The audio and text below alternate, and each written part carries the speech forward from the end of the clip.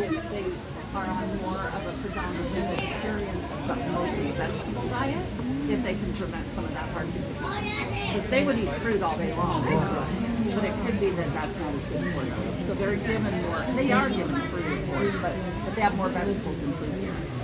And there are nutritionists at the zoo that plan everything, that look at the nutritional content, vitamin content, everything, exactly what they need and what foods and how much and so on.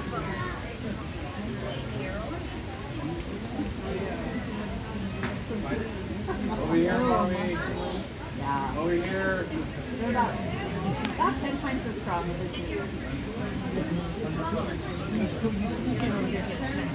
Are the largest.